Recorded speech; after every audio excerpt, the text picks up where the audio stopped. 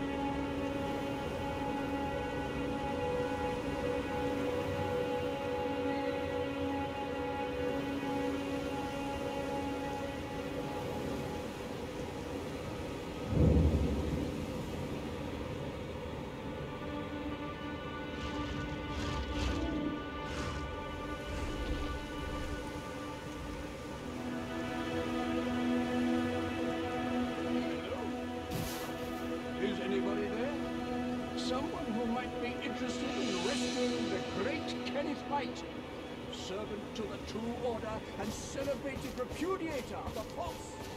Oh.